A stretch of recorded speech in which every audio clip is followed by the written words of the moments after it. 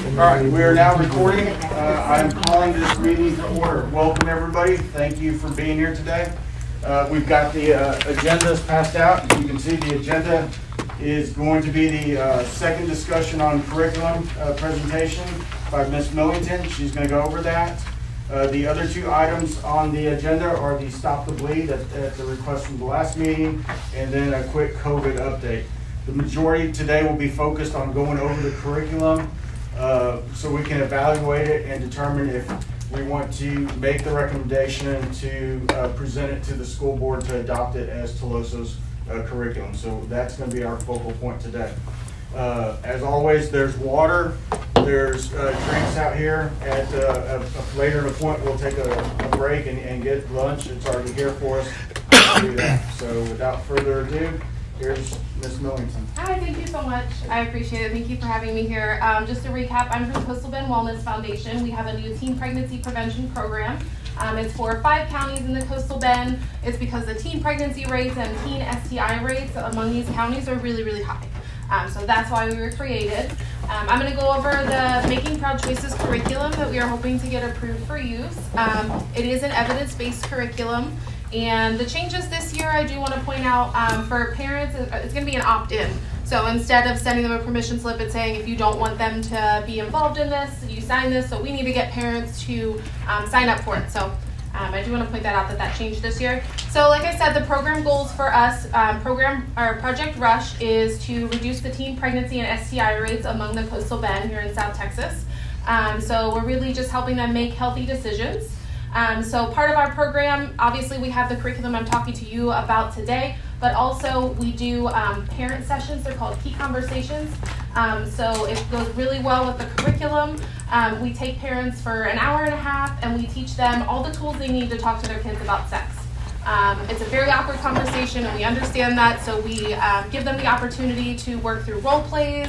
Um, we give them those tools to kind of start that conversation and answer any questions they have about the curriculum, about sexual health, anything like that. So it's a good resource, and it goes along with this curriculum. Um, so it's for youth who are 15 to 19. Um, they are reported as being the most vulnerable to teen pregnancy, STDs, multiple partners, and risky sexual activity. Um, so just quickly, some of the stats from Nueces County. Um, 90% of teen births in Nueces County are repeat births. And the teen birth rates um, per 100,000, we are 67% above the US rate here in Nueces County and 17% above the Texas rate of teen births. Um, again, STI rates, and this is all just for um, youth 14 to 24, um, and that's going to be the blue bar on the bottom. You can see the rates um, for Nueces County.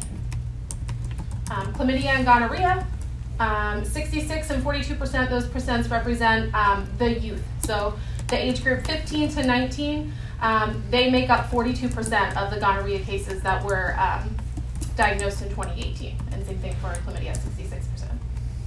So making proud choices. Um, it's an evidence-based curriculum.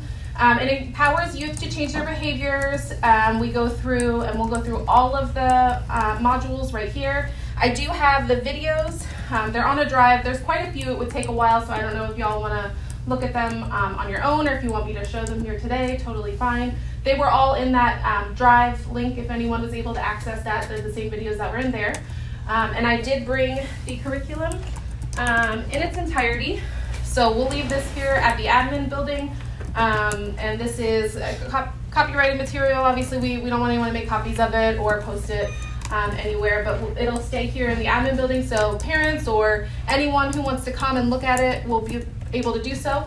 Um, I also brought the student workbook. Um, so it goes through all the activities that we go through with the kiddos, so you can look at that as well. Um, and these will stay here. And Is this the curriculum the state board approved? yeah, so um, it meets, and I'll go over all of the TEKS standards and all of the different modules and how they go over and meet every TEKS um, standards. Yeah.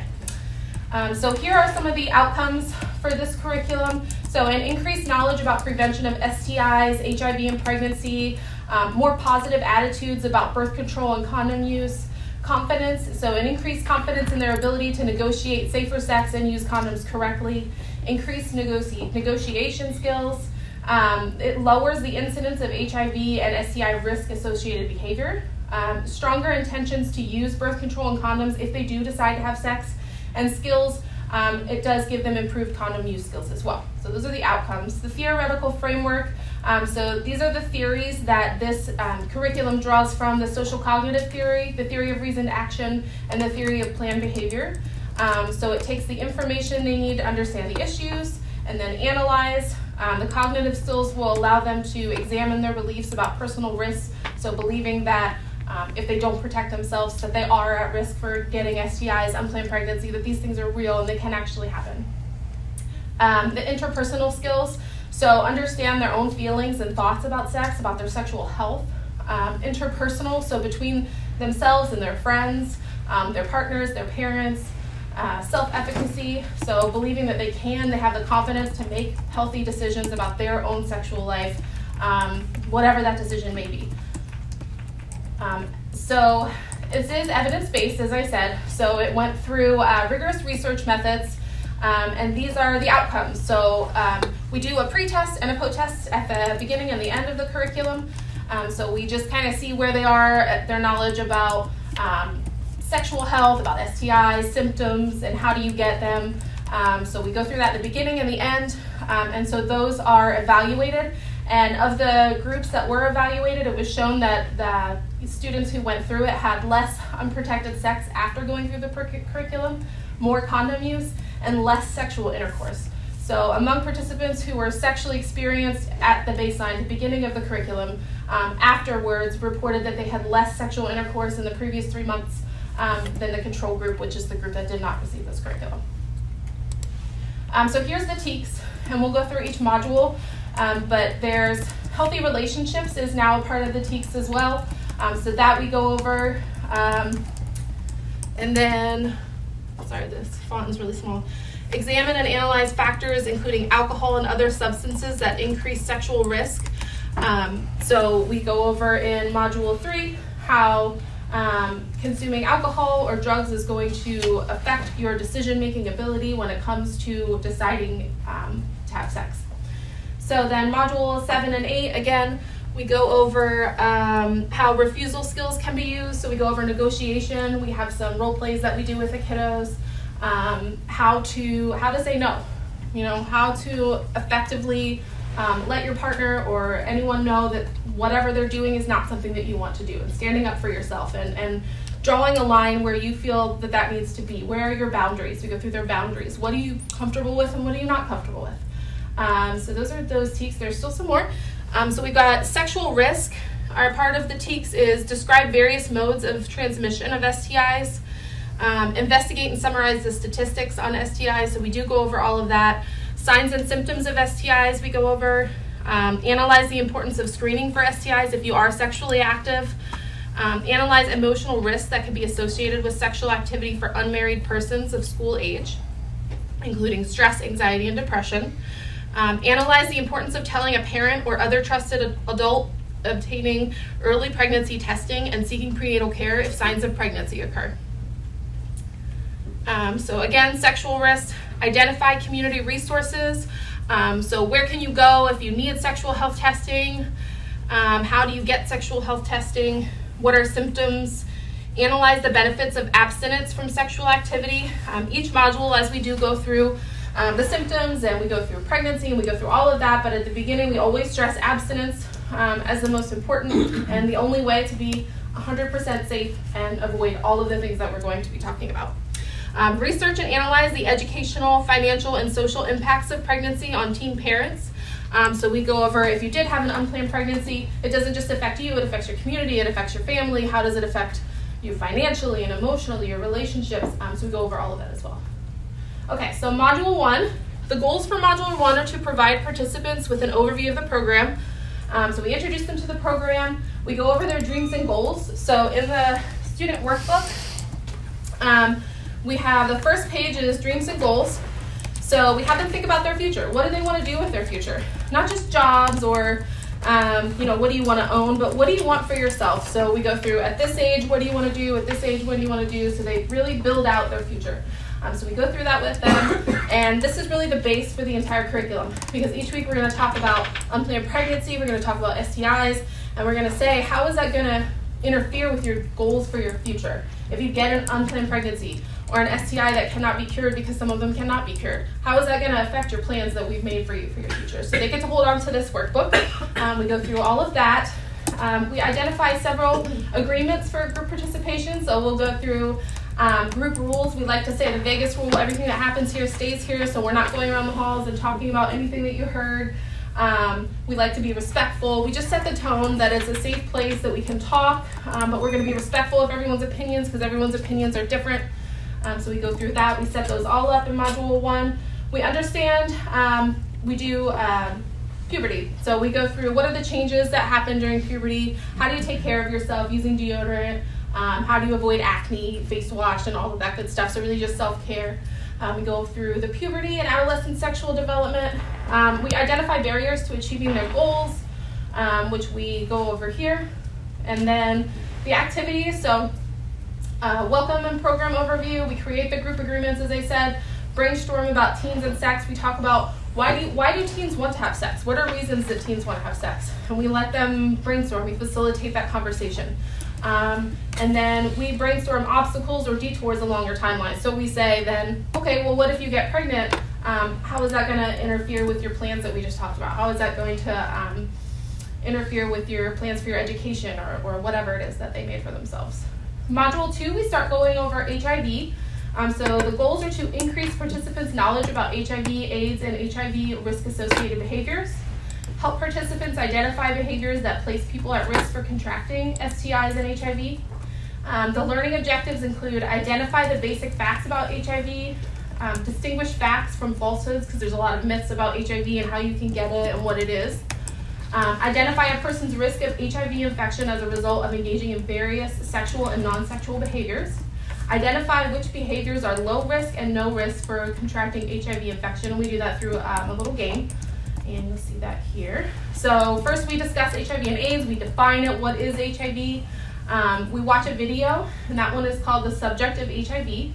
Um, and then we go through the game that I was talking about, true or false, and the high risk, um, or the HIV risk continuum. So we talk about what behaviors put you at risk for getting HIV, um, and we put them on a continuum, so low risk to high risk. And then module three. So we go over HIV um, and condom use. I want to show you, I brought, we don't bring condoms or any graphic models. We have our fake condom, is what we use. It's a nylon stocking, um, so we show them how to use it. Uh, it's just like a package of a condom. We tell them how to check the expiration date, how to open it carefully. Um, so then we take it out and we show them how to use it on a water bottle. So we'll show them how to unroll it, how to pinch the tip and make sure there's room at the top. Um, so this is what we use to demonstrate condom use, what they are, how they work, um, what they do protect you against, what they don't protect you against, um, all of that good stuff. So this is the condoms. Um, we confront stereotypes about who becomes infected with HIV, um, learn more about how people can and cannot become infected. Um, we weaken those negative beliefs and attitudes that foster those risky sexual behaviors.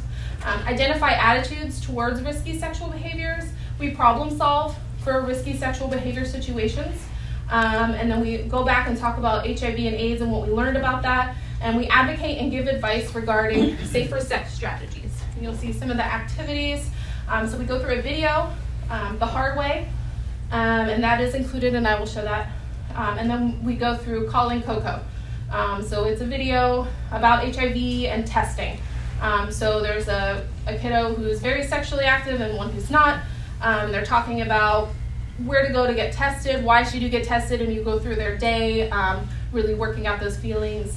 Um, so that's calling Coco, and there's an activity that goes along with that in the activity book um, where we go through and we put ourselves in their shoes. Um, so it's very interactive. There's a lot of activities. It's not just lecturing. There isn't a PowerPoint where we sit there. Um, it's a lot of activities and it's a lot of interaction with the kiddos. Um, so module four, strategies for preventing HIV infection. Um, so we introduce the participants to a problem-solving method to help think through and cope with sexual choices. Review and reinforce the information learned thus far in this program. And then as far as learning objectives for Module 4, we state and explain the three steps of the problem-solving model. Um, state how using problem-solving steps can help avoid risky situations. Explain how making their own decisions makes it more likely that they will achieve their goals and dreams as we talked about at the beginning. Um, and then provide correct answer to review questions on HIV and AIDS. So we review HIV and AIDS again, we review the symptoms, we review how do you get it. Um, so stop, think, and act is an activity that we do at the beginning. Um, it's kind of problem solving that we walk them through. Um, Sean and Morgan case study. Um, that's something that we read about HIV. Nicole's Choice is a video I'll show you as well. And then the HIV AIDS game. And I do have those materials here, and I can leave these along with the um, with the curriculum but you'll be able to see uh, all the different things that we use. Um, for those, yeah, those are all here. Uh, module five is STIs. So we'll talk about chlamydia, we'll talk about gonorrhea. Um, we'll increase participants' knowledge of sexually transmitted infections, um, help them identify strategies for preventing them, um, increase their vulnerability so they know that you know this is something that they can get and it's easily transmitted. We clarify the participants' attitudes and beliefs about STIs and condom use. There's a lot of myths and a lot of behavior um, you know different options for for condom use and people feel different ways about it what is it what do you think about a person who goes to buy condoms what does that mean you know the stereotype the stigma and we walk through that and why do you think that is um, but really um, getting to what they believe about condoms and, and really just helping them understand that it's them making a healthy choice for themselves it's them protecting themselves um, that the person who's buying it that maybe we're stigmatizing or we're judging um, is making a good choice. And so we try to um, frame it like that. Identify the signs and symptoms of the most common STIs. Oh, thank you. Um, so the common STIs, like I said, we go over gonorrhea and chlamydia. Um, those are really common down here in South Texas, and they're really high rates among teens. So we go over those as far as symptoms. What does it look like? Um, how do you get it? Um, we also acknowledge their perceived risk for sexually transmitted infections. We demonstrate steps for correct use of a condom. This is where we go over each step. Um, and then in the cards, there are steps that we have them in a game go through and put them in order. So it'll say we remove the condom from a package, we use lubricant, um, roll condom on. So we have them in an activity, put them in order of how you would use a condom safely. That's those cards there. Um, so we go over STI facts. The subject is STDs video, the transmission game. Um, the transmission game is a game where um, they'll each get a card that identifies them as either having HIV or an STI. Um, they go around and they talk to different people and they're exchanging cards, but they don't know what's on it. And then we see how easy it is for someone to give an STI um, because you can't tell if someone has HIV or an STI just from looking at them or from talking to them. So um, that game kind of kind of brings that fact home for them. Um, what I think about HIV and STI and safer sex, and then condom use skills. In Module 6, we talk about pregnancy. So we increase the participants' understanding of pregnancy as a possible outcome of unprotected sex. We increase the participants' perception that they are vulnerable to getting pregnant or getting someone pregnant. Increase their understanding of the consequences of teen pregnancy and we increase uh, participants' knowledge of various types of contraceptive methods. So for this one, we'll go over um, not just condoms, but how do you protect yourself against um, an unplanned pregnancy. So we'll go over different contraceptive um, options, how to get them, what do they look like, how do they work. Um, we distinguish facts and falsehoods about pregnancy, and we identify specific birth control methods that may be used to prevent pregnancy. So we'll go through some true or false statements. There, there's always a lot of myths about what you can and can't, how you can get pregnant and how you can't get pregnant. There's always so many questions. Um, they really like this game um, because we go through a lot of the common myths and we um, play a true or false game. Um, you know, things like, can you get pregnant from having sex standing up? Like, the myth is that you can't because you're standing up. Um, so that's one of the ones that they're always shocked to find out. Um, so we go through those. Uh, there is a video, Tanisha and Shay. Uh, so that one is a young couple. Um, I think they're like 16 or 17. Um, one of them gets pregnant. They're still in school. So you, you kind of see, it's 25 minutes. It's a pretty long video. Um, but you, you see their how it really affects them, their family. It, it's, it's really touching and a really emotional video that they like to watch. Uh, birth control methods. So that's when we'll go through. Um, we'll talk about birth control pills. Um, we'll talk about diaphragm. We'll talk about cervical caps. Um, we'll talk about any kind of contraceptive method. Um, we'll talk about IUDs, things like that. Um, we'll just tell them that what they are, how they work, um, that they don't obviously prevent against STIs and HIV, that they are just for um, preventing pregnancy. Um, and then we have a game where we agree or disagree attitudes about contraceptives. Same thing about the condoms, like what's the stigma? A young girl is on birth control pills. What do you think about her? Um, and we kind of go through that. Um, module seven. So this is when we start negotiation skills. Uh, we increase participants' understanding of barriers to condom use and increase their strategies for reducing those barriers, including how to make condoms use fun and pleasurable. Increase participants' communication and negotiation skills so they can negotiate condom use. And we enhance participants' ability to resist situations that place them at high risk for HIV or, um, STIs. So we list the correct steps for using a condom again. We identify barriers to using condoms.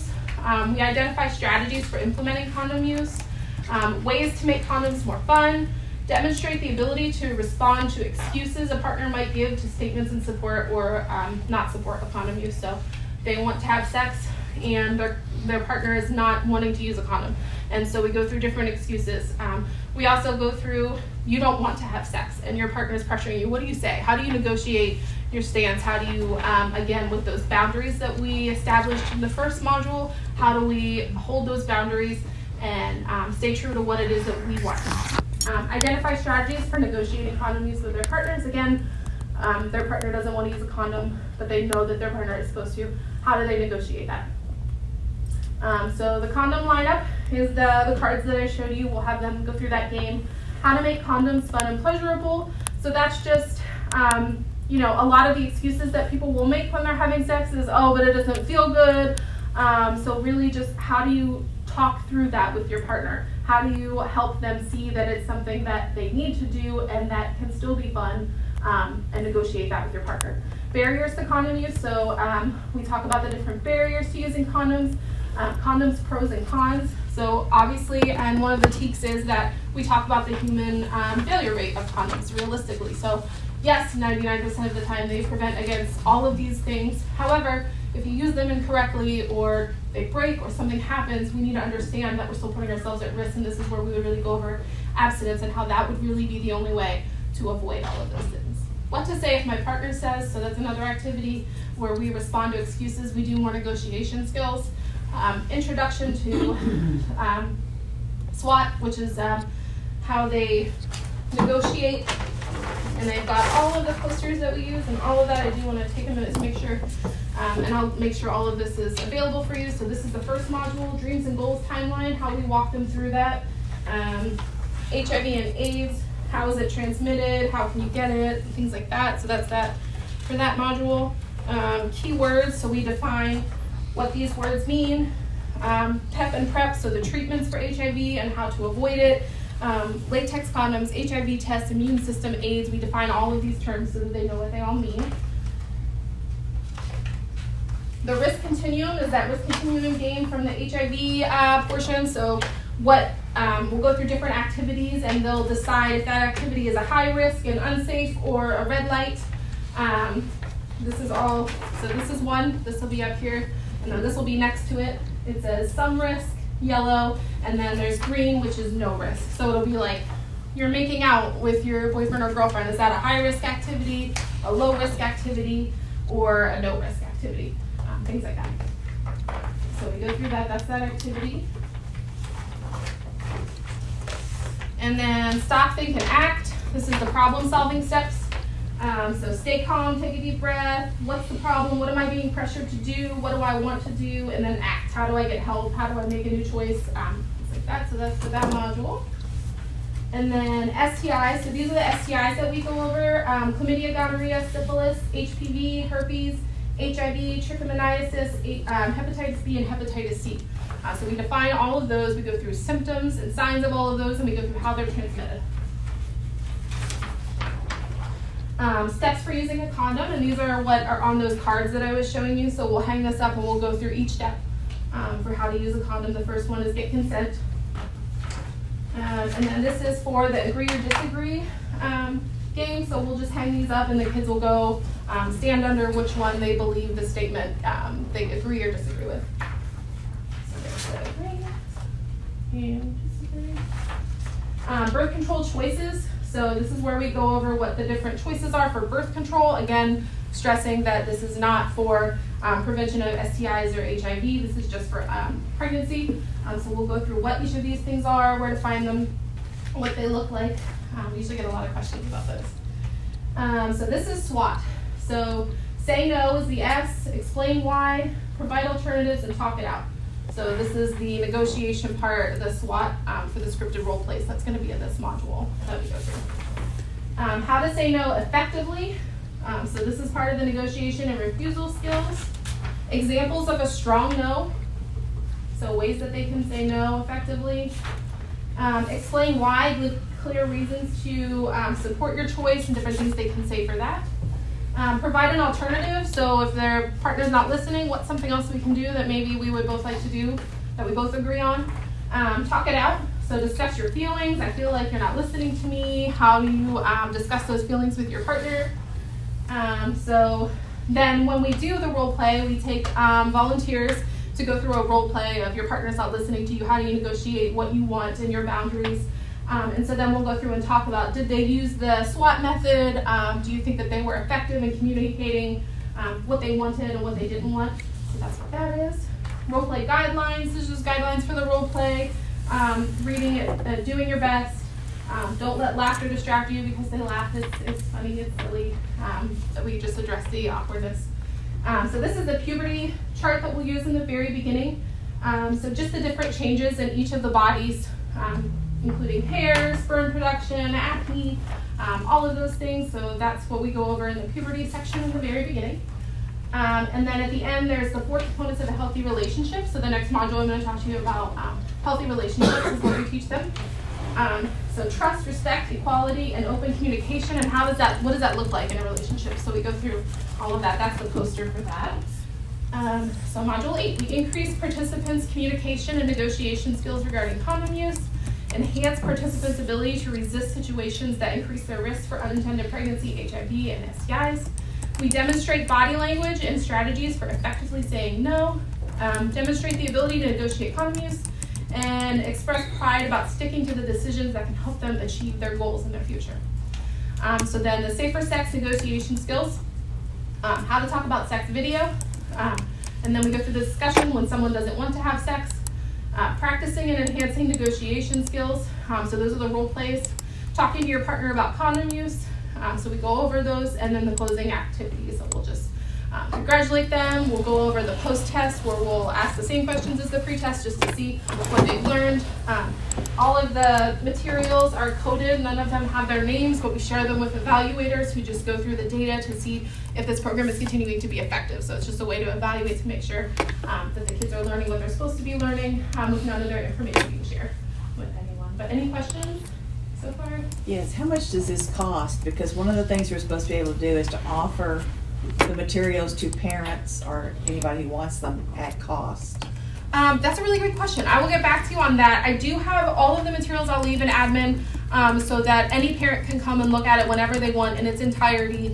Um, we just ask it when it doesn't get copied and, and um, you know it's copyrighted material. But I will check on that for you. I'm not sure um, exactly how much it costs. We bought a big bundle because we um, have a bunch of educators that we had to teach, and we bought all the materials, so it's at no cost to the schools that we go to. we just purchase it and deliver the curriculum.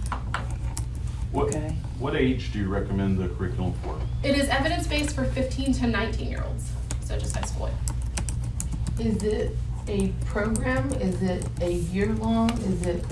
Yeah, great question. So- Employees teaching it? Is it your staff teach?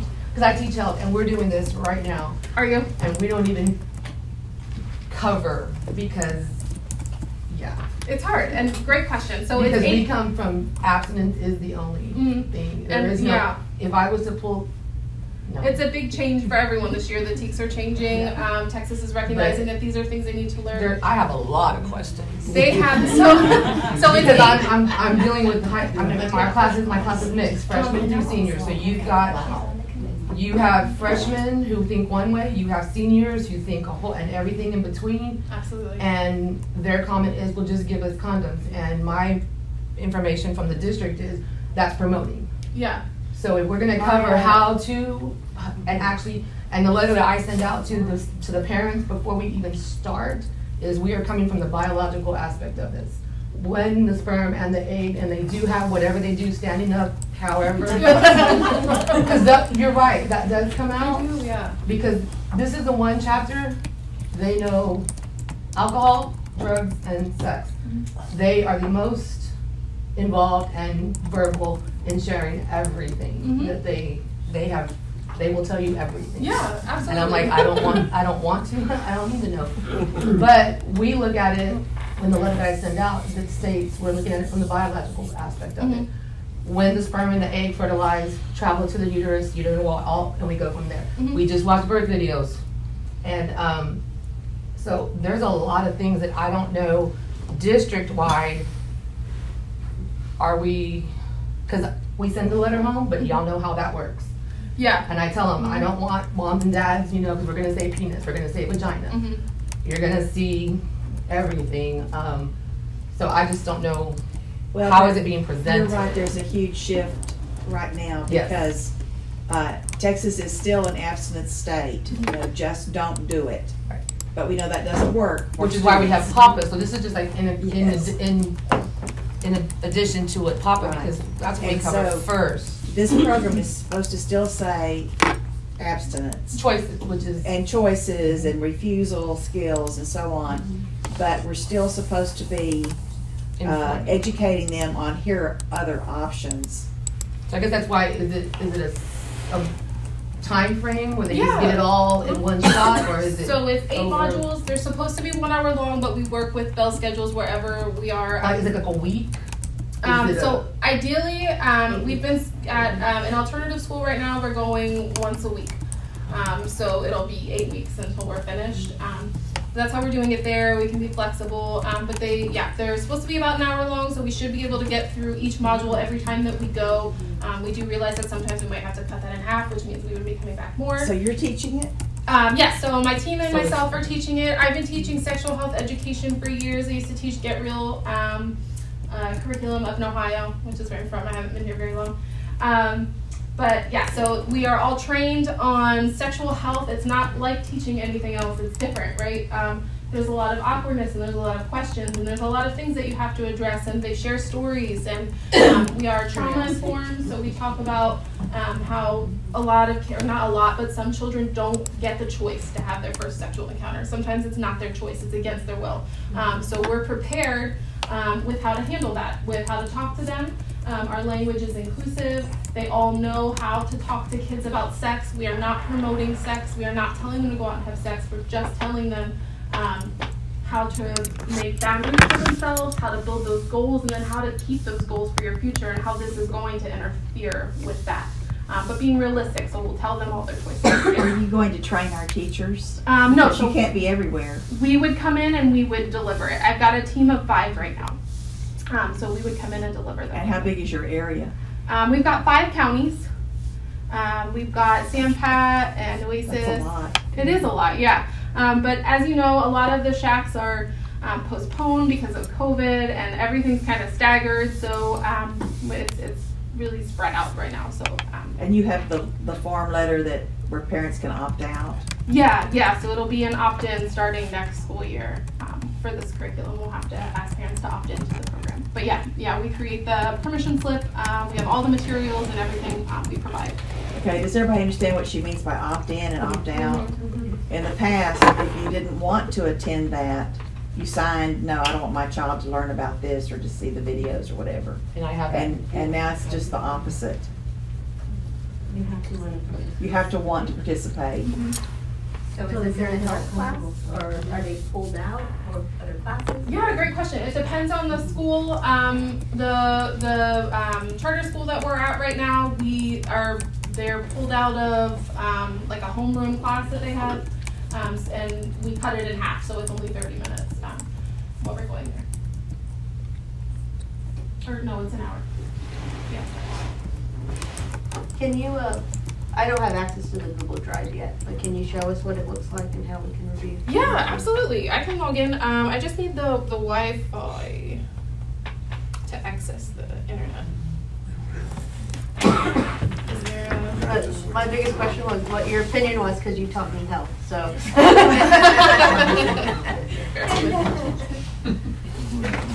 It's, We're gonna have to try some. It- Okay. Okay. Because they, it's, yeah, it's,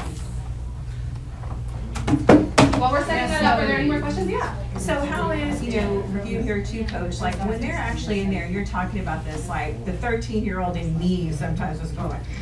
So mm-hmm. do, are they s- taking it seriously? Is this something that they're really, you know, absorbing?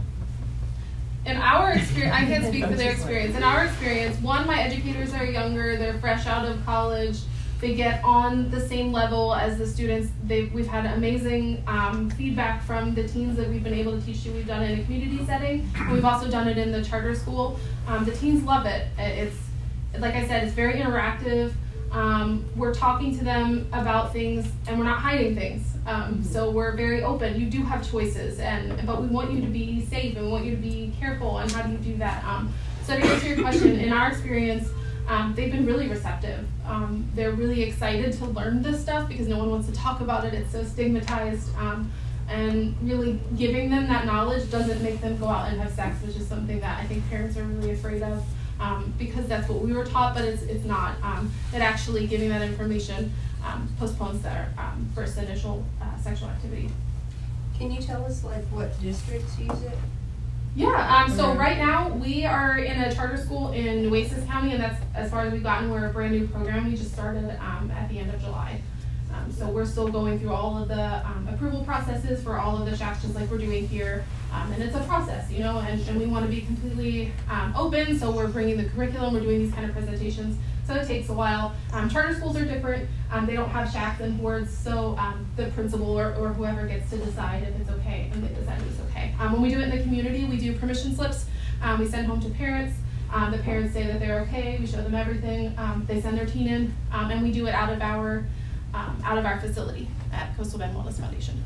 will they be pulled like all freshmen, all boys, boys and girls, freshmen through twelve? Cause like that makes, like in my class, and you, cause you've got the freshmen who are like, oh, the girls are after the senior boys, and we'll do whatever. And then you Mhm. have the boy, the seniors who are, you know, The how um, you present it and then and your numbers because like is going to be a big deal um, to answer your question like it's like anything i think you have kids who are taking it in like really and then you have the ones and you can kind of tell the ones that are sexually active and there there's more than people think um, because once we get started they start staying after class and they start asking questions because, you know, we talk about the STDs, there are some symptoms you don't know unless you go get tested. Well, how many of y'all are getting tested every time you have sex?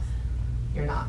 So you could be sitting here sexually active and you could have something, and you won't realize it till you wanna have a child 10, 15 years down the road, Mhm. and you can't, then you're like, oh, what did I do? And it goes back to the choices, that's why we start with choices day one, but I have them for a semester. mhm. So we build that choices to drink, choices to drink and drive, choices to eat the right food, choices to, and then when we get to this chapter, the last chapter, it kind of builds, but you still have those ones that are the opposite, and their comment is, oh, I have sex because it feels, it feels good. Well, Mhm. so does making an A on your Yeah. test. How about we make the A on the test? Because they will tell you, I mean, it's So how long do you cover this particular topic? Couple two, weeks? about or- two weeks. About two weeks? But we do, we start with PAPA, which is what's required by the Attorney General's office, which is what are your rights and responsibilities, and that one's huge, because you have, you have the kids that we have, it's, what is the difference if you bring a child into this world married versus not married? I don't care if you're 13, 14, 15, or if you're 27, 28, 35. What is the difference, is what are my rights as a male what are my rights as a female, you know, and going through that, they think like a lot of things, they know all the answers and they don't. Like legally, what can I do as the male? If she tells me, no, it's not, doesn't, I'm taking the baby, you're gonna, I'm not gonna have anything to do with it, he has the right, like we just talked about yesterday. Do you tell him? They're like, no, yes, you do.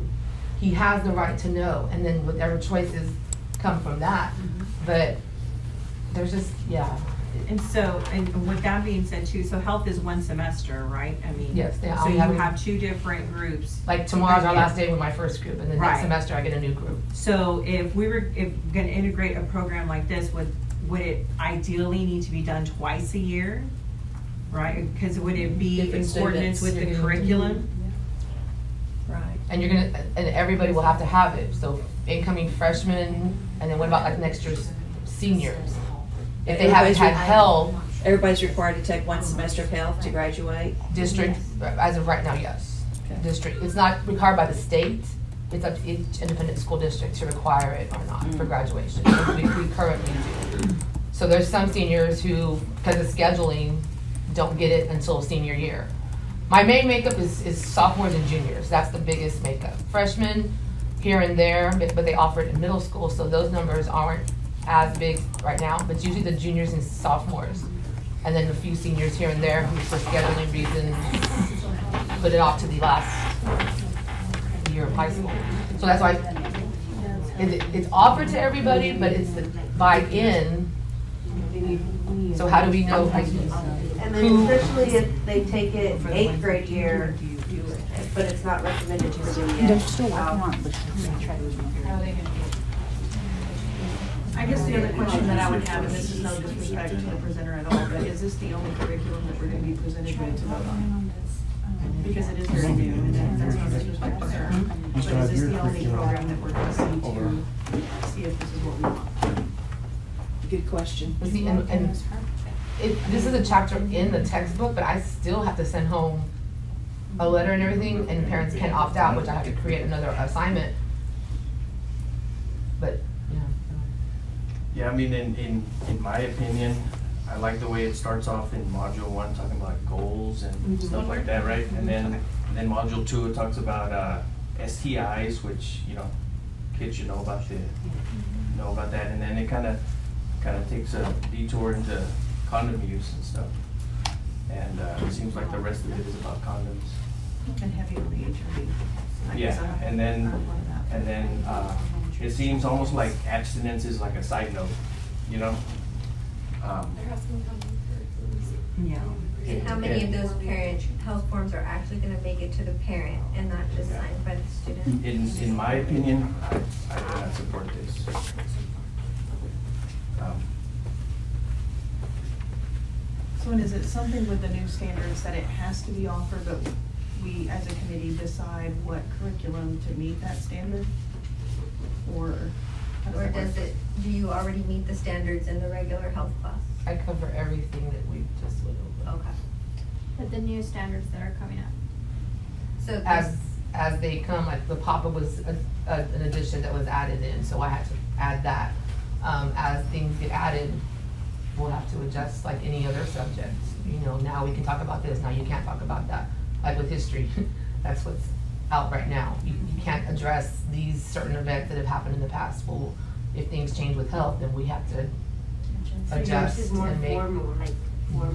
not Okay, our necessarily question is, we thought that as part of the SHAC, it was our responsibility to review several materials and determine which one we wanted for our school district. So is what you're telling us is that the state board has decided on one?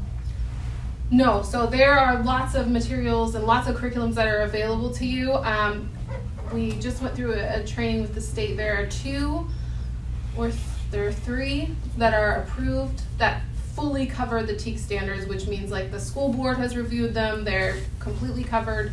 Um, I don't remember what the other ones are, but you can you can look So them you up. just There have are- one. Right, yeah. So this is just an option. So this is something that y'all can choose.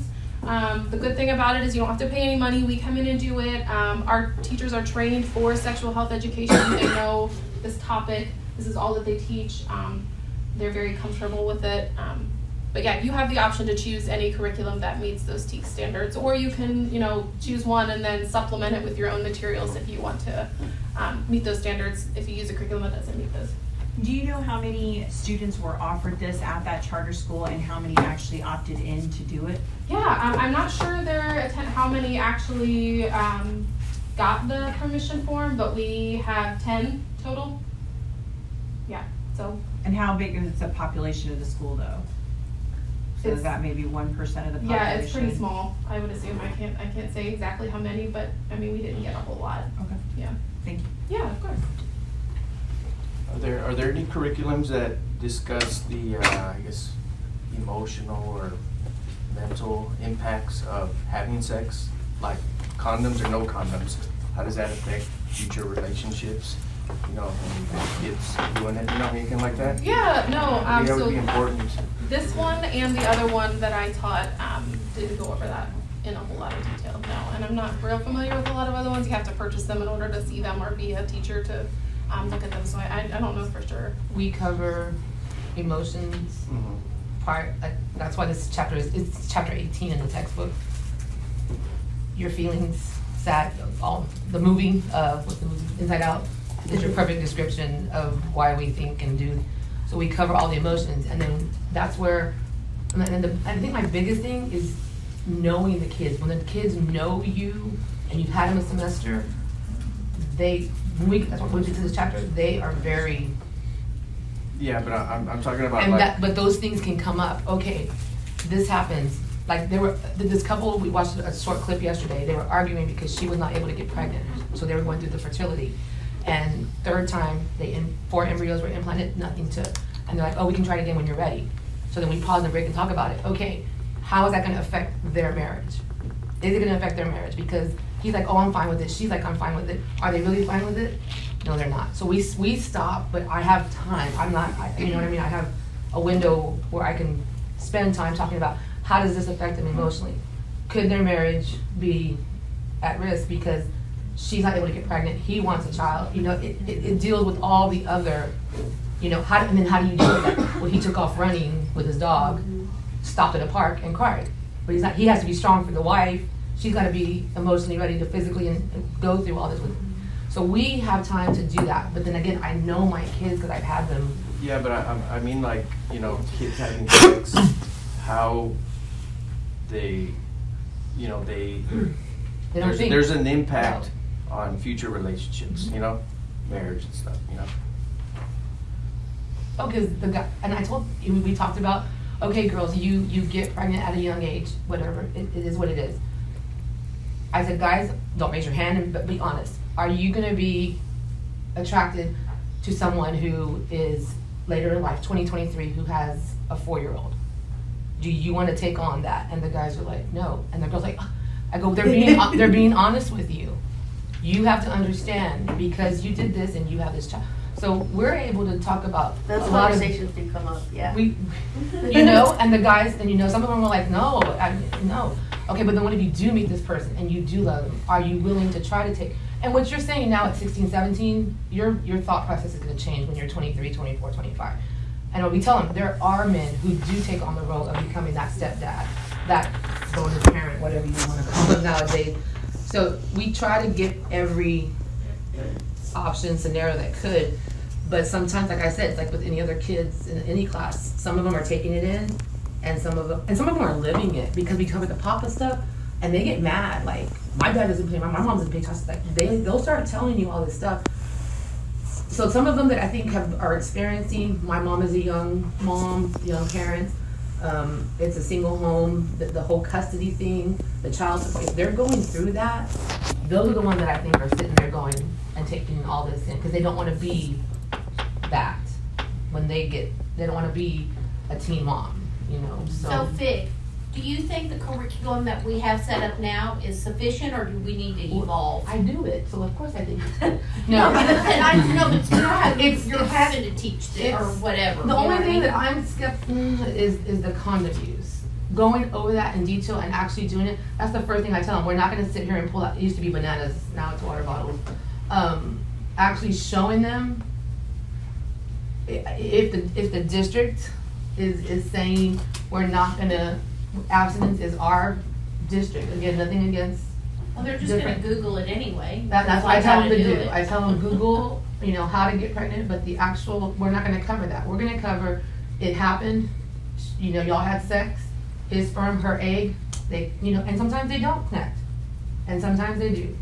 I know, but they, they, they think, okay, because I'm not pregnant, oh, I'm good.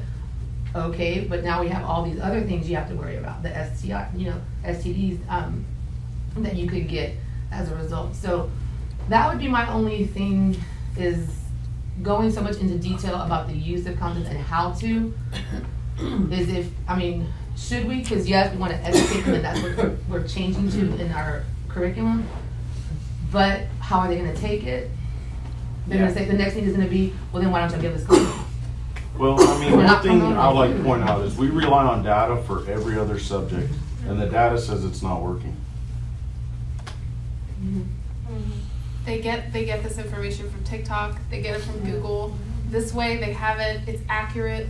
They're going to use it correctly, and they know the risks. We're going to tell them that they don't work all of the time, and we're going to tell them the outcomes if it doesn't work. What, what does that look like? And Patrick, this isn't replacing the health class and this is like the fifth grade class that they get for hygiene or the one that the girls get pulled out for like, it's just something extra that the parents have if they choose to. And it's all. Because pa- parents aren't teaching their kids, y'all. They're not. It's like either it's up to the school, and I know a lot of parents are all like, well, this should be taught at home. I don't expect the school to do it, but they're not doing it. Not all. I told, Not all of I them. told them last week. They're just like, my mom never When we went over the menstrual this." cycle, you can physically see on the girls' faces, like the light bulb went on, and they understand why they're having a menstrual cycle. Like, cause they don't, they don't know that what it's intended for later in life. But why am I having to go through this, you know, and the boys too, why am I, because you may have a daughter, and the mom may not be around, and then the, we're gonna come to you, no, you're not, you need to explain and understand emotionally what this girl's going through, and some kid told me that their sister started in fifth grade. So it's happening younger and younger. And what are you gonna do with your child and explain to them what's going on with their body if you as the male dad don't know? You need to know. But it's it's I don't know. It's Well, I More as a parent think it's choice. I mean, I mm-hmm. think we should give the parents the choice. It's gonna be up to them to opt in or opt out. They don't, as a parent, you can say, you know what? I want you to take this class, or no, I'd rather, you know, talk. but if it's not coming and if it's not coming from us as employees and we're not gonna be, you know, told you you said this in class or you did and it's a, a an organization that's coming in and doing it, then that's what they need to understand when they opt in is Choice. you're gonna get told some information, you're gonna get shown some information, that they don't come back to the school district or the campus or the whatever and say, this was said in to my child. You opted have to in. know that, cause they'll have Right. to say, I Yes. want my child. Yeah, Yes. and you're talking about like the kids that are already having sex in your class, like you, know, like you said, I could see, you could tell which ones are. What I like about hers, cause I've always told my daughter, sex right now at this age is not fun. And I'm getting you ready for greatness, to not end up having to have a baby and then you have to go back. I'm getting you ready to become an attorney. You understand what I'm saying? So what I like about hers is that it's showing, it's gonna teach them how to say no, how it's okay to not wanna have sex. All the refusal skills, which is, Exactly. yeah, and that's a chapter, that's why I That- said, and that's that a I chapter like too. prior. The chapters that we have yeah. prior to this chapter lead up to, it all comes together. All the emotional But I stuff. think this with what you teach would go hand in hand. Oh, So yeah. the ones that want to learn it, uh, you know, from her and the parents that do want our children to learn. And the good part about this is the, um, so the parent portion that I talked about, we don't have to implement this in order to do that. If that's something you're interested in. We offer those to anyone in the community, so we can offer this to all the parents in the high school. Um, it's that one and a half hour session where we talk to them about how to talk to their kids about sex. So we're not telling them what to say, like, go tell your kid to have sex. If you're telling them, don't do this, don't do that, that's fine, but how do you open that conversation and how do you be an askable parent that your kid can feel like they can ask you about their sexual health? Um, so that's what that all- session is. They all say, ooh. Yeah, we can. And we can you say, mom and dad, you know, you got here because mom and dad, ooh. So they don't have, they don't, it's an awkward. The parent session's. Well, the, the parents will get like a session like this where it's kind of broken down for them Yeah, so it's not in this much detail just because we only have an hour and a half, but we go over, we answer all the questions. Um, everything's available if they want to look at it. We don't hide anything. Um, this is something that, like I said, I'll leave here so everyone can look at. All parents can see it and make an informed decision if they want their child to be involved. If they don't, absolutely fine. That's you know the school will provide something else for them to do. Um, but yeah. Um, I'm so sorry. And Patrick, I, the question was asked, but I don't think anyone, um, responded to it. But, um, is there another option that we'll, we're going to review, or is this? There's only other companies, and if, if it- that's the request is made, then I can, I can look at other vendors Uh, They're not free. We, we can look at them. Uh, Just other districts in the area, we're looking at this company, so that's why I I chose this one. And this one's free of charge. The only reason I asked that question is because we don't know what we don't know, right? So, uh, we've been presented with this one, which, you know, doesn't sound like a bad idea, and even though it is free, is that the right one for TM? You know, that's the only reason why I asked if this is the only one that we'll see. Because it's kind of hard to make a decision if you don't know what you're deciding for or against. Somebody makes a motion. As an out, as, as an outside group, just completely outside, seeing the entire city in a whole, um, if this is something that's gonna be presented citywide and countywide, it might be best because we're seeing a growth in TM. We're getting outsiders into our district, and they com- they think completely different than our kids. You know, our kids are brought up a certain way, and it's been a small town feel, and now we're getting these big kids, and they're not problem kids, but they think completely different. So that's also something we need to think about. Are we going to be the only school teaching a, a curriculum that no one else is teaching, and we're getting these other kids that automatically fall in line with, excuse me, with what she's saying? So that might be a thought. Well, and another thing too is that y'all are local, right? Y'all, y'all's office is right there in Corpus. So if, say, you go through this curriculum with the student and maybe it doesn't affect them at that moment, there may be a time later in their life where they have questions or there's a concern or maybe they need to have an HIV test, they don't have to worry about where to go. They just go into town. They know exactly where to find that type of information versus if there's some big outside company that we have to call an 800 number or you know you dial this and possibly speak to a real life person when they can physically go into y'all's offices because what other you have other things available there Yeah, at the wellness foundation Wellness Foundation, we have a fully operating clinic, so we've got two um, physicians, a whole bunch of medical assistants, a nurse practitioner. Um, so they see anyone in the community, they are primary care. Um, we work on a sliding scale, so you don't have to have insurance um, to be seen. We see anyone, um, we work with any income. We also have behavioral health services. Um, we have our own food pantry, we have our own pharmacy. Um, and then my area does the STI and HIV testing um, for the community, um, and then education on how to prevent that as well, of course.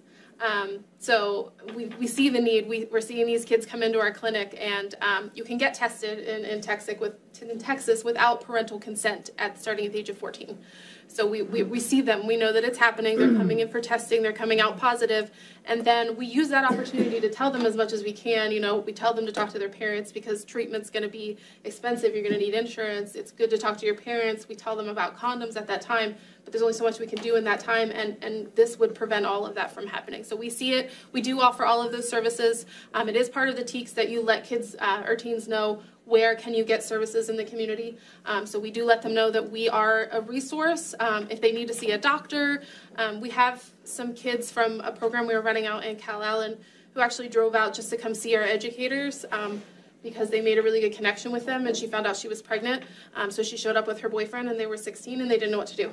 Um, so they came just to talk to them. So they sat down in our office and just you know, we were just a, a, place where they could go and talk to someone. We didn't talk to them about options. We don't do any of that. That's not that's not what we do. We don't even say that word.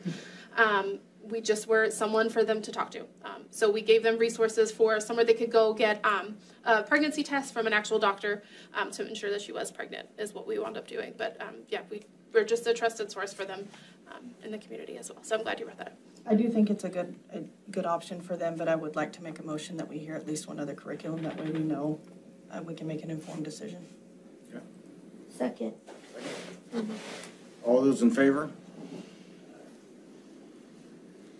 Motion carried. okay can i get the name of the person who made the motion Amber Watkins. and who's second Uh, Denise.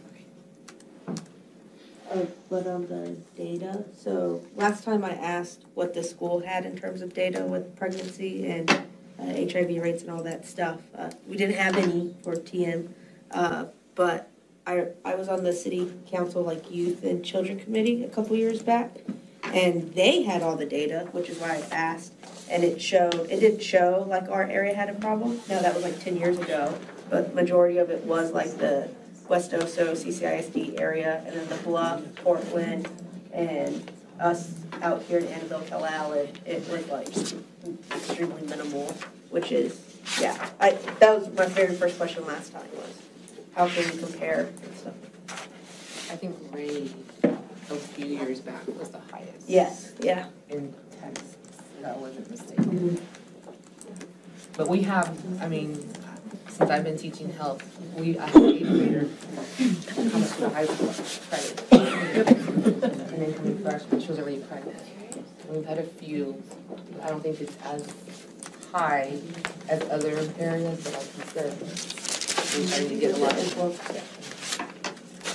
And what is the full name of your curriculum? Because I, it it went by so fast on the screen. Yeah, it's making Rush. proud choices. Oh, of our program, so our program from Coastal Bend Wellness Foundation is called Project Rush, and it stands for Realistic Understanding of Sexual Health.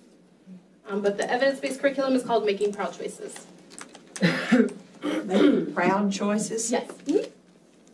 I have uh, one more question for you. So I know right now it's you and a team of five, and you're going through several SHAC committees. In the event that you are approved for more districts and this grows, what's your plan? Is it still gonna be five or? Yeah, that's a great question. So we um, also have the uh, drug, there, um, it's a youth program. Um, so they mostly go to schools and teach drug prevention. Um, they start in elementary through high school, and they're in a lot of schools around the county. I'm sure that you've seen them. Um, they're called Project Turnaround. Um, so they are educators who already go into schools. They know how to do classroom management. We would train them on our curriculum if we were noticing that we needed more educators, um, and then they would be able to help us um, facilitate. I, I just want to add, I, I work at uh, the Academic Career Center, and um, there is an issue with teen pregnancy. Please come by and visit our campus, ask questions, talk to some of our teachers. It's here. And there are a lot of reasons that they'll tell you why that are not in this training, that are probably not taught in health class. And that's more of the, um, like you said, mental health issues. You know, I'm, I'm was told to get pregnant because my boyfriend said, if you if you don't wear a condom, show me you love me. You don't need a condom. You know, um, these uh, our students, some of them get pregnant because they have no one that loves them, and they want to have somebody to make that's going to love them back. So there are a lot of underlying issues that are not covered necessarily in TEKS or curriculum, but but it's here. It's here in our area, and it needs to be addressed one way or the other. I think you're right, the supplement to what we're doing is, is, is, I'm, I'm not saying that's not needed, it's, but with the understanding that what's presented from whatever, whatever group we get to, to do this is the parental understanding when they sign off, that this is, you're opting in with understanding of this, not, right, not the- this class, like the hell class, like this, because there's some stuff that I wouldn't touch. So do y'all provide the, the template for that letter of the Yeah, opt-in? the- And yeah. Does it review what the modules are? Yes. Mhm. Okay. Yeah, and then we will go ahead and let them know that um, we have it at the admin office, so they can actually come down and review the whole entire thing with all the materials at any time. We would share the, the Google link with everyone, however, it would it would be distributed and and it is copyrighted. We get in trouble for that. So, um, So if it's yeah. copyrighted, how do the parents get a copy themselves? they would have to purchase it. And, but you don't know how much it costs? I don't, but I can get back to you for sure. Yeah, definitely. The cost, uh, if you could send me the, the parental, uh, approval letter, Yeah, so I can send it out to the group. How many of y'all actually watch the videos? I couldn't get in. I- It kept Yeah. saying, We don't um, have- you have to don't get have access. Access. I press request access. I- Yeah, I do. me What I'd like to do is break so we can get to lunch, um, and grab your lunch, and I'd like for y'all to at least watch one of the two of the, or, or the videos, so y'all can kind of see what, what it is and how it's presented through the videos. Uh, even though we'll be looking at another group, but we need, I need your, your thoughts on the videos, I watched a couple of them. Did I miss what the teen pregnancy number is here at TM? Do we know that? I can tell you this year at the Academic Career Center, we had four in the first semester. Out of how many girls? How many Uh, girls? uh, Well, we had uh, started with 50 students this year, and we're about half and half, so. And is that part for the course each year? You have like around four No, each year? I mean, no, ma'am, no, ma'am, we usually have maybe one or two a semester. But, but, I mean, we, and we also look back at, we had kids at home for a year. You know, we shut down for COVID a, a year, and, and kids were home, parents were working. So we take all of those things into account. But those So- are also the ones that you know are pregnant and are going through with it. There, there are a lot more Oh, that. yeah. get Oh, yeah. pregnant. Yeah. Mm-hmm. Mm-hmm. So, Mr. Coro, how could we get the teen pregnancy rate for TM? Uh, would the county health department have it? Our registrar should have it. Yeah, because it's an at-risk The factor. registrar, they're coded differently, and our fathers. We also have fathers in the, in the, on the campuses as well. It affects their lives as well. And Mr. So- Benavides, we've had a couple of students that have come to us pregnant and are no longer pregnant. And that could be because of, of various reasons. We don't ask, you know, but we're here to help them. Yes, sir. I have one. Have kids parents. We'll find that out and send it out. Do we offer any help for kids that are pregnant? This summer? At the Academic Career Center, yes, sir, we do. We have, um, we bring in. But district-wide, does anybody know, Patrick, anybody? Do we offer any help, Ms. Sikora, to teen, to teens, fathers or mothers? I don't know the answer to that. What we do offer is when, when we have a student, a girl, become pregnant, we usually, ACC, the alternative education is usually one of the avenues that we take to make sure they get educated, because a lot of times they drop out, y'all. They get pregnant and they're sick, or they don't feel good, or they're tired, or it's just. Exactly, they don't want to be ridiculed, all of a sudden they're hiding it, and so they, they, but ACC has saved many, many, many of our girls, and, and, um, it, but they do have the option to stay at the high school and finish their pregnancy there, so it isn't like, oh, we're sending them to a, you know, a mother's school or something like that, it's not, it's just a, a, kind of like a, a speed, It's accelerated learning, so Exactly. many of them that need to get into the workforce or need to, you know, Well, get I ready to like your prepare for it. assessment the, the boys also need help. And that PAPA You know. training, that is fantastic. And it, it's especially with the rights of a lot of our young men who are fathers are going to be, to know your legal rights or the things that you, what you've been told by other people are not correct.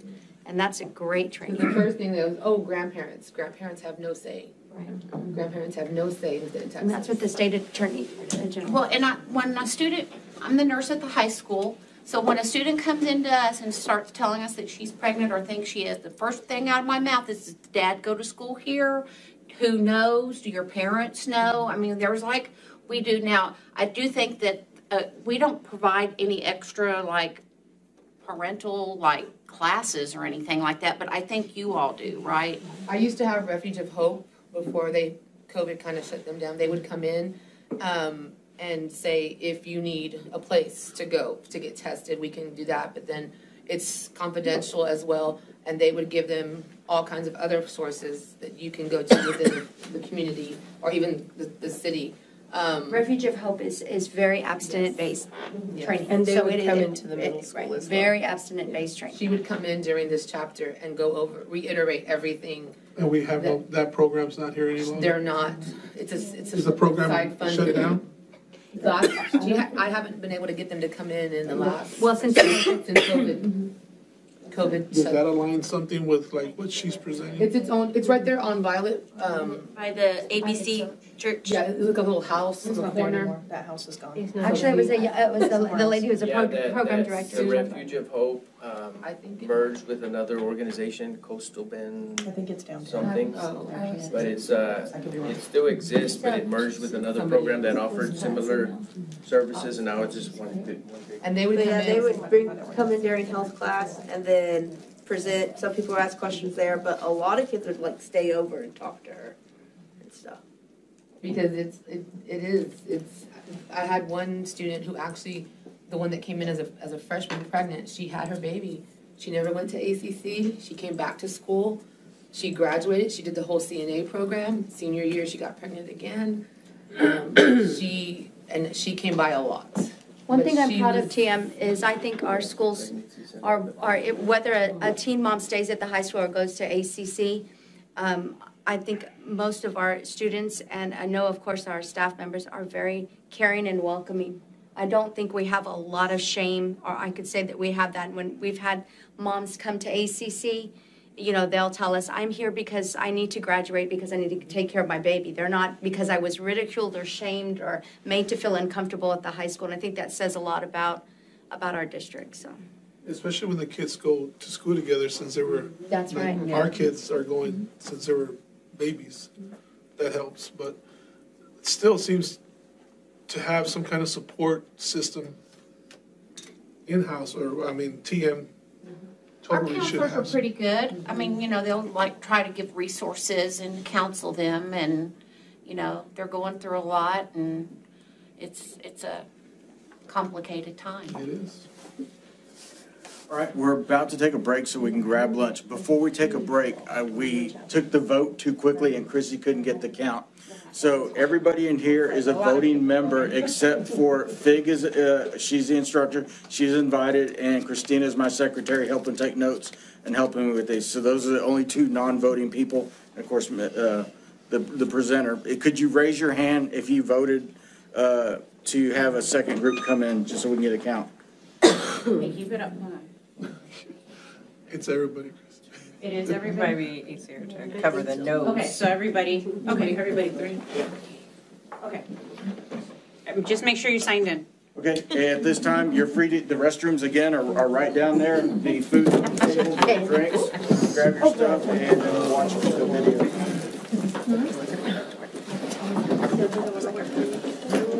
She's gotta go, she's gotta go shop somewhere. She's gotta sell.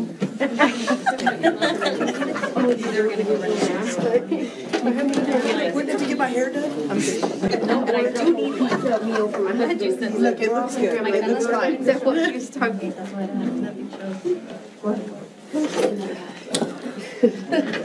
Well, we just finished it. Yesterday, they, they saw birth videos. Oh, that was a. I go to the bathroom, I go to the bathroom, can I go to the bathroom? Everybody goes to the bathroom, like, no. It's, they, they just, they sit there like this. And then, I'm, and I tell, I, I walk them through, okay, it's, you're getting ready to see it. There's no, and no kind of. Some Texas, thank you so much. That Ohio weather is much different from South Texas weather. Do you really? Yeah, winters are the worst. My whole life, I would love to. I'm very nervous, people like this come with. We had some snow. I few years did, yeah. I came here and so, Yeah. I like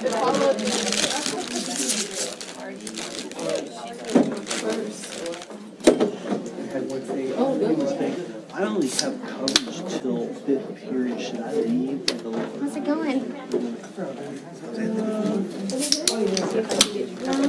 Because I think this might last, I don't know.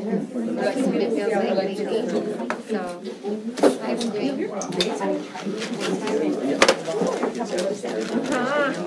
I Elena loves them. Dr. Pepper zero. Oh. Hey, twenty years.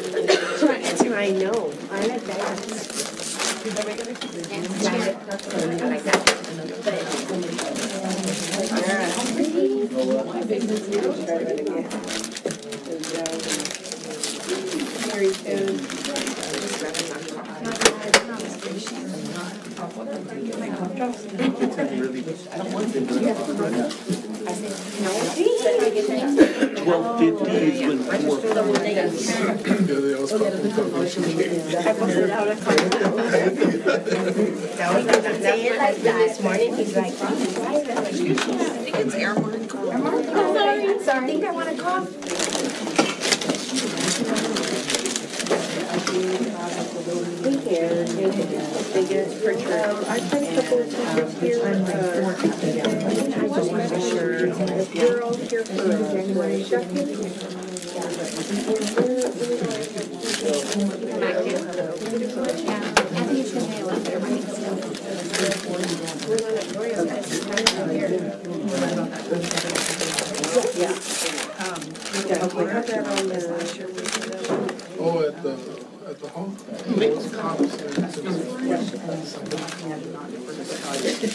Okay, you may have to Google it, because that's what I did, but that'll actually be your better option. Okay. Because before we did it, it was cash only. We didn't want to deal with vouchers. So, that's the other thing about the tax-free days, because we had, we had carryover and stuff goes here all the time. Yeah, so it's kind of, okay. But it really is only about six thousand dollars anyway, so it won't be a lot. Okay. So I need to get through it for I need, I would like to see the, if you could uh, get him some of the inside of the medical pregnancy.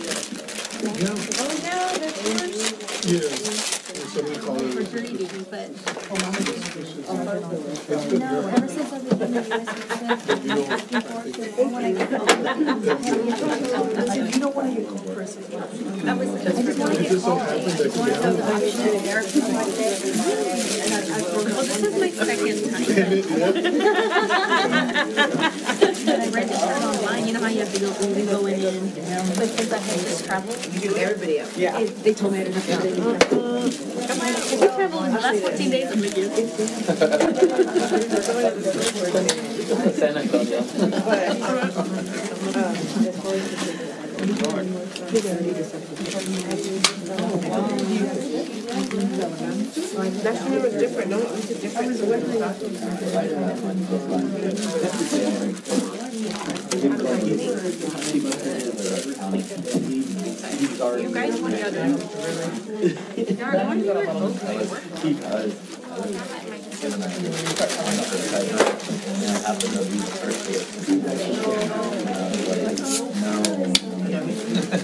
Do you wear both? He does. No, they were in here. I. It's been interesting, but. Then you didn't use your mail? And then Denise mail.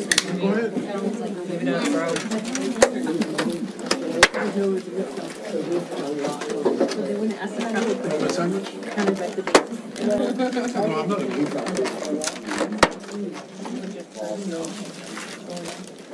a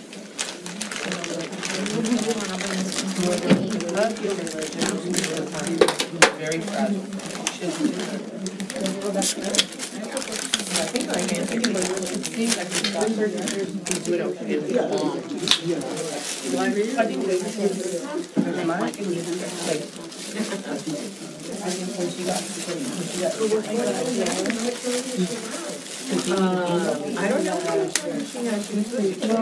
Go out there on a Sunday or Saturday. I I don't know. I was so good first game because. What did Literally, Stephanie told us one day, and the next day was. So I You know, even though it'll be fun, but. You should never be hurry, right? Yeah. No, I know, I mean, I don't, I wanna be there. Because we're having to go to Livonia next week. We go to then we have go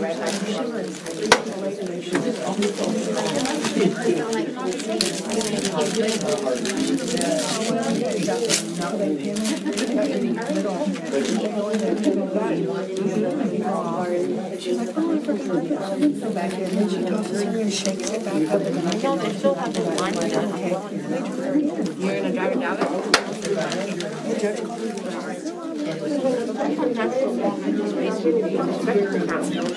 said, well, I don't have cable, but I have digital cable, and I have a couple of channels, try it, and if it works, it works.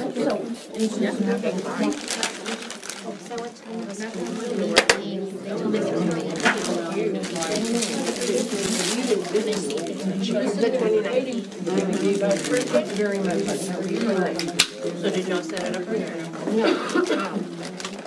They're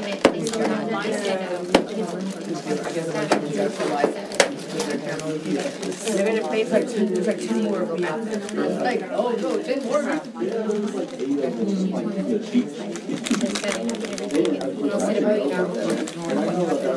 It's amazing what it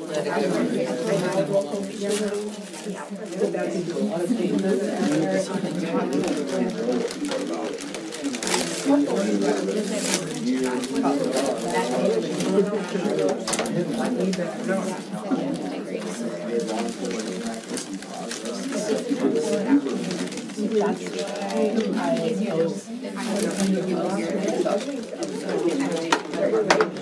I did, I was, I great. Oh, it was a great.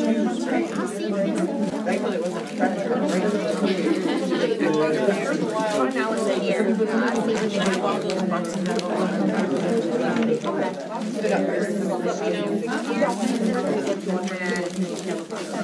right, in just in the interest of time, I think everyone's got their food. We're gonna go ahead and start the videos. They're pretty lengthy. So what I'm gonna have her do is start about, you know, about, go through about five or 10 minutes of a video, so you can see that, and then we'll flip to another one, that way you can kind of see the content across it. And we'll see about get, making sure you have the links so you can actually view these at home. Uh, because I really want you to be informed on, on what the kids are gonna be seeing in these videos. All right, so. The we'll go- Google Drive will request you to request access. That's normal just because we don't want to share it with everyone, like we said. But as soon as you request access, I go through and I look at all the emails from the SHAC and I verify that you are a SHAC member, you're on the thing, we accept it. So once you go back, you should be good. So just give it like a day and you should be good to go back in. Email me personally if it won't work so I can grant you access. Um, but I, I do want you to be able to see those and it should be working. Okay, and the other thing before, before we start the videos, some districts have already approved, it. there's a requirement that goes, goes through two readings. Uh, so I'm gonna have her share the districts that have already approved it and that they're working with, because I think you guys should, should hear that. Um, so Ingleside ISD, um, we've gone through both meetings and presentations and they have voted yes. So they are, um, pushing that onto the school board. Um, so that's one. Uh, Mathis ISD has also voted yes for their SHAC. So again, the next step is the school board. I don't know if we really talked about that. So the next step after y'all vote is it goes to the school board. Again, they get to open meetings and they get to view all the materials, um, in, in its entirety and they get to make a decision. Should they vote yes, then it's the final yes, it's okay. We come in and educate. If not, obviously we don't. Um, so we've got Mathis, um, Ingleside, and then Aransas Pass. And then other schools that are looking at, but haven't had their two SHAC meetings yet is Flower Bluff. Um, Um, oh gosh, we have so many. Calallen. Um, we'll get you a full list of districts that they're Yeah. working with. okay, awesome.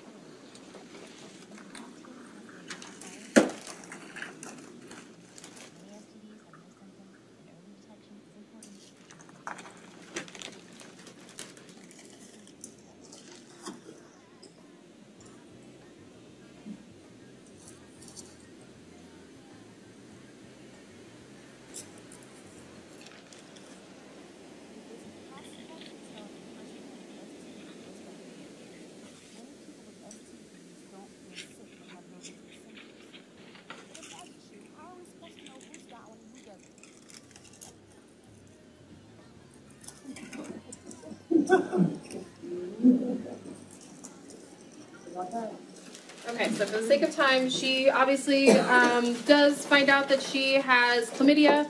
Um, and then she finds out that one of her friends also slept with the same guy who she slept with who has chlamydia. And she has a difficult choice of whether to tell her that she also slept with him. And, and it, it's a whole thing where she has to decide um, what to tell her friend. Um, but she does have an STD and she has to go through treatment. And it shows her going through um, the doctor calling to confirm and her going through treatment. Um, but that her and her friend slept with the same person, and then she wants her friend to go get tested, but she's like, oh, do I tell her that I've had sex with this person too? Um, so that's her choice. That's this video. I'm going to show you. There's quite a few, so I, I don't want to keep up. And like I said, these are all on the Google Drive, so you can watch them in their entirety.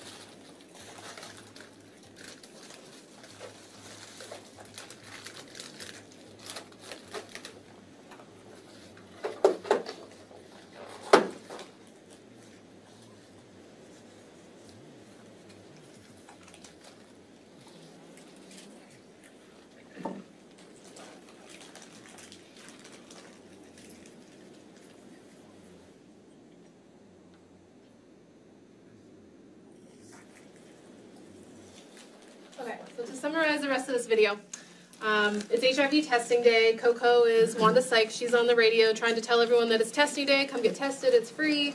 Um, so both of the friends decide to go get tested. The friend on the right is in a monogamous relationship with his girlfriend, but they don't use condoms. They talk about that because they're not sleeping with anyone else, so it's okay. Um, and then the one on the left is sleeping with lots of different women, um, but he does use condoms. So they go get tested, and it turns out the friend in the monogamous, monogamous relationship has HIV. Um, the one who is sleeping around but using condoms does not have it. It turns out that the one who's in a monogamous relationship, his girlfriend slept with someone before they were together who had HIV, but she didn't know. Um, so it goes through that you can't tell um, who has HIV just by looking at them, and just because you're in a monogamous relationship doesn't mean that you shouldn't use protection. And there is an activity that follows this. Um, it's in the workbook. And um, so they go through and they pretend that they're callers calling into Coco on the um, radio show. Um, so they'll go through, like one says, Dear Coco, my girlfriend and I have been going out for a year. We really love each other and both want to have sex. I trust her, but I'm concerned about HIV. My girlfriend and I are 14 years old, and neither one of us has tattoos and we don't use drugs. We've been thinking about having sex, but only with each other. Do we have to worry about HIV? Um, so it goes through different scenarios. Um, so we break them off into groups and they work through what would your response be? If you're Coco and someone's calling in and asking you this, what do you say? Um, so there are things that we want them to address. The fact that they're 14, are they ready to have sex? What comes with having sex? Obviously, um, what happened to them in their relationship? We thought that they were monogamous. They don't have tattoos, but they still had HIV. Uh, we go through all of that. So there's a bunch of different scenarios that go along with this um, video. Do you want me to keep going? What time do you want me to stop? I think we're about, we're running short on time. Uh, Is there any other specific questions you'd like to ask her? We're gonna work on getting a, a second program in here for the next meeting. Uh, Is there any other things? Uh, We'll work on getting you access to the videos. I'll get you the forms, uh, the parent approval forms, so you can see what those look like. Is there anything else that you guys uh, would like to see, questions? All right. Then at this time, we'll, we'll go ahead and move on, and allow her uh, some time to pack her stuff here, and then we'll move on to the, uh, I just want to thank you for coming, and please do not be offended that we want to look at other programs. Oh, not at all. I was letting Patrick know that I, um, I have a resource for him of some other curriculums that are being used in Texas that I can share so that he can make an informed decision. Absolutely understand. Thank you. Yeah.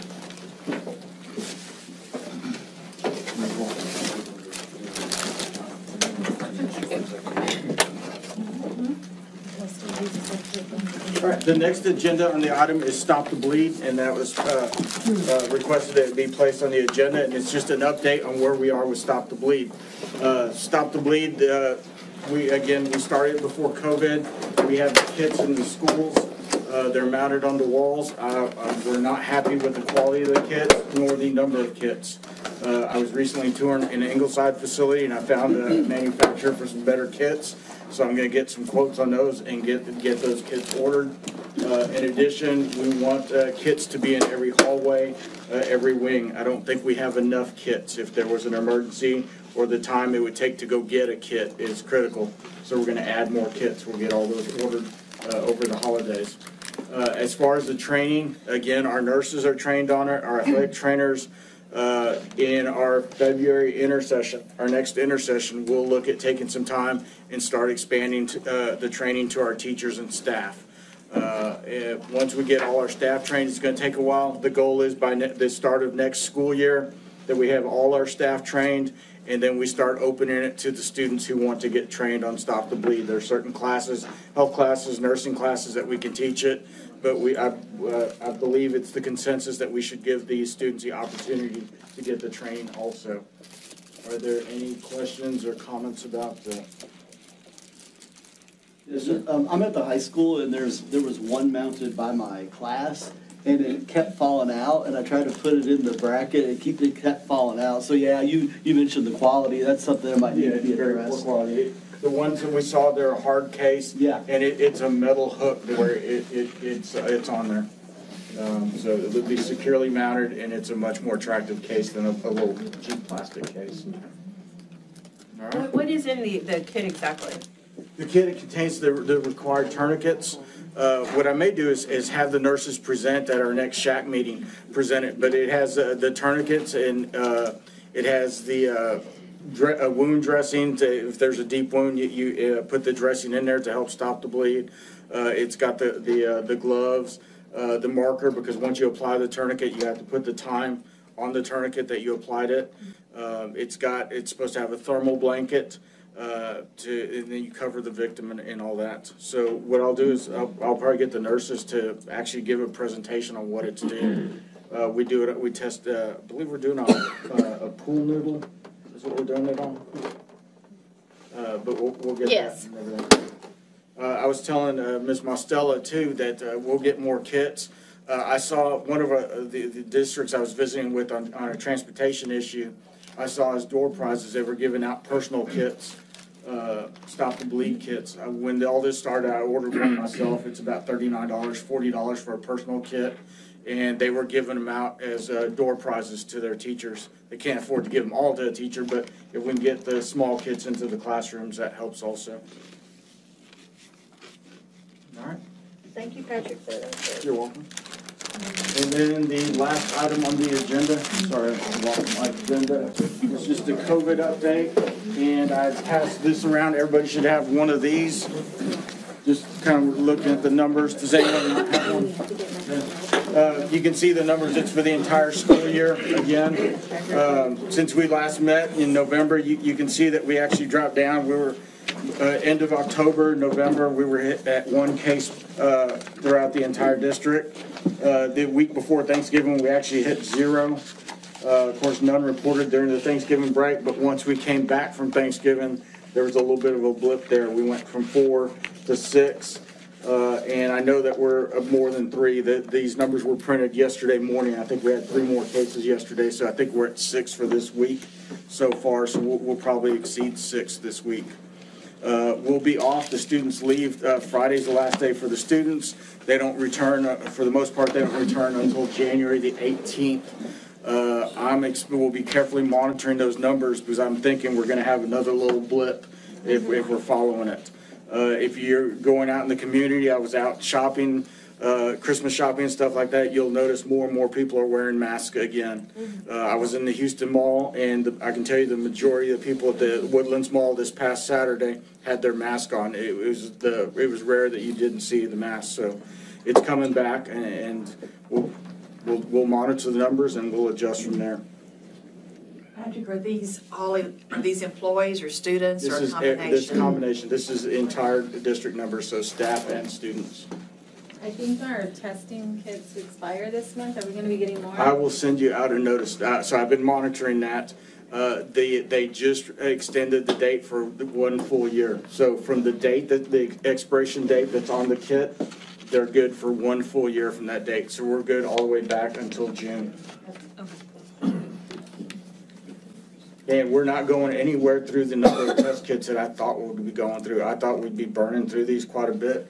I still have five cases locked up and there's eight test, eight, eight boxes of forty in each one of those. uh, Yeah, things. that, I'm gonna say something about that because we were testing quite a bit at the beginning, but, and we even offer it now, like if a student comes in that's kind of like COVID symptomatic, and we'll call the parent, and they're like, no, I'll take them to my doctor or whatever. They're, they're like refusing it. I don't know if y'all are experiencing the same thing, but More knows now. but we we try to promote it, you know, like to, to get them tested, but they're like, mm-mm, like they don't they don't want it done. Well, I don't know what's going on. Well, We can't force it, we can just. No, offer no, it. no. But I am telling you that we do have the testing kits in our office, and we are offering it, and you know, encouraging parents to. But they're they're not interested. I find it odd. Unless maybe they don't trust it, but that's crazy. Maybe because so. I wouldn't, but. But it's the same, like, they don't realize don't it's realize the it's the same same thing. test that they get at like Genesis, CVS, Walgreens, the doctor. Have we made that like public to our students and parents that we offer it? 'Cause I It's on our we're seeing webpage, isn't it? It's on the website. That we already have, because I'll still talk to parents and I'm like, oh, you can do that there. So they, like, a I lot don't of think them they read the say they webpage don't. They don't know that. unless they're looking for some something Kind of specific. when, when you're calling, because, you know, if they're sick and they're having, the, the idea was that when you're calling them to, to come pick them up, that you would give them that option, that, that we could test them there. Is the way the word would get out. Yeah, they're afraid to get a positive test. Our next meeting, I don't our next meeting will be February the seventeenth. Uh, after the holidays, it'll be about a month. We, we come back on January the eighteenth, so about a month after we start back for school, we'll have our next meeting. Are there any items that you would like placed on the agenda for that meeting? Uh, so last time I asked if we could talk about like mental health and stuff, so like how Miss Chopper was, what was the two examples you said on people, they got pregnant because no one loved them? And then, well, I want someone to Social love me. emotional health. Yeah, social emotional health. Uh, I don't know, I guess the best way to talk about it or discuss it in this setting. Uh, but yeah, mindfulness training or different things like that. I want to add something too. I, we're seeing an increase of vaping and drug use. And y'all, I know it's an old subject, but it needs to be addressed again.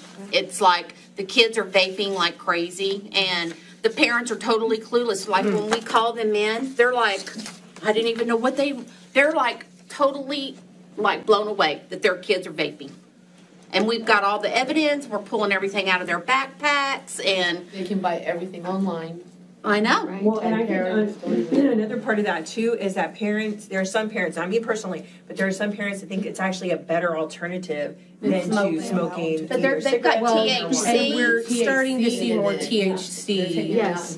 And there's Um, this you other can't tell thing the called difference tip between hit marijuana or hit, what is it, hit tip or tip hit? Yes. Where they're dipping the, the mouthpiece into like formaldehyde and they're like, yeah, y'all, it's like, we're seeing it We it have had to send a student to the hospital.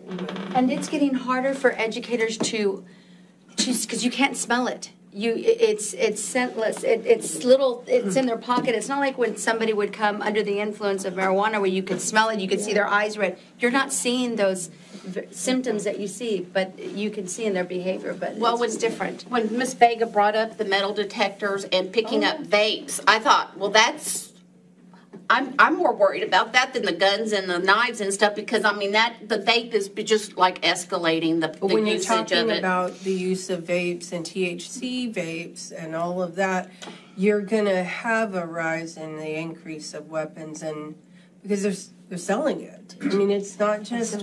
They're selling dangerous. hits. We, we can't get into a full discussion because it was an agenda item, but I will place it on the, uh, Okay. agenda for the next meeting. Could we invite our district social worker to our meeting and maybe she could discuss how, what she's seeing in our district with our kids?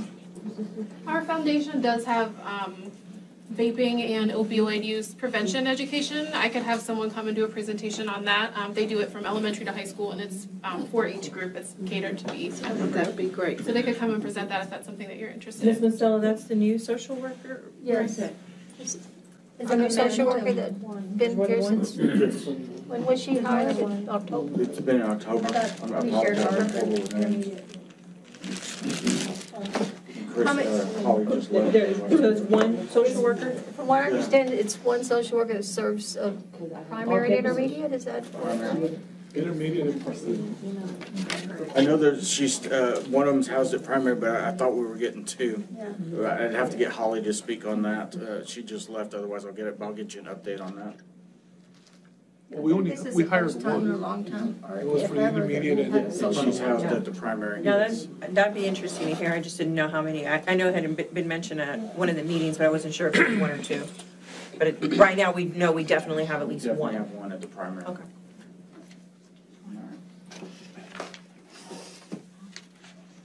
Again, I appreciate your time. Thank you for taking the time out of your busy day. Uh, It's important for the, our, our students' well-being and, and, uh, safety and security. Um, Have a great holiday. Uh, We'll see you after the uh, holidays. We'll see you again in February. Thank you.